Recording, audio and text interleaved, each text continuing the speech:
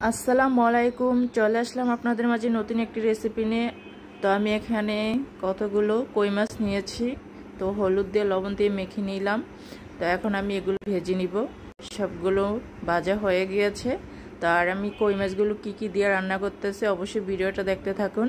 তো কই মাছগুলো সবগুলো উঠানো হয়ে গেছে এখানে। আলু আর ডাটা নিয়েছি, কাঁচামরিচ, লবণ দিয়ে এখন নেড়ে ছেড়ে নিচ্ছি। আর ডাটা দিয়ে কই মাছ দিয়ে এখন তো খেতে ভীষণ ভালো লাগে। আর এখানে আদা বাটা আর হলুদ সাথে দিয়ে দিয়ে এখন একটু নেড়ে চেড়ে নিচ্ছি।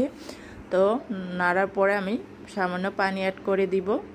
তো ভালো করে নাড়াচাড়া শেষ, আমি পানি দিয়ে দিলাম। তো এটা ভালো করে একটু ডাটাটা, আলুটা সিদ্ধ হয়ে গেলে আমি এখানে কই মাছগুলো দিয়ে দিব। তো সিদ্ধ হয়ে গেছে, পানিটা শুকিয়ে যাওয়ার পরে আমি কই মাছ দিয়ে পানি দিয়ে দিলাম এখানে।